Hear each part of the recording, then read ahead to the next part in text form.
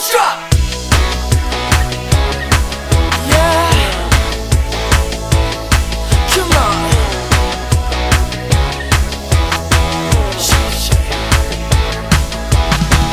take you home